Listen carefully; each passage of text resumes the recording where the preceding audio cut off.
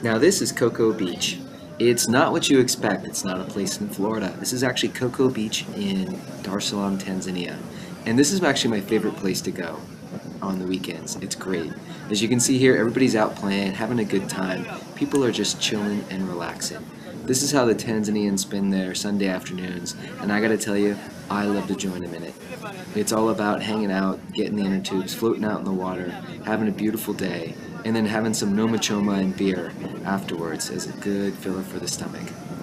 Uh, I'm really gonna miss this beach.